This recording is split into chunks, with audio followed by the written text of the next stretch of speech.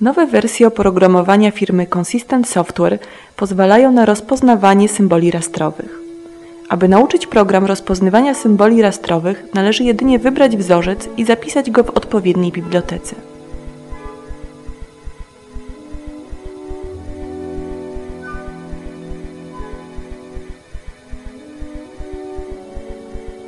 Następnie, jeśli chcemy wybierać rastrowe symbole, musimy włączyć opcję rozpoznawania symboli w oknie dialogowym Konwersja raster na wektor oraz określić wzorce symboli na zakładce Symbole. Teraz rastrowe symbole, okna i schody na naszym przykładzie mogą być wybrane jednym kliknięciem myszy.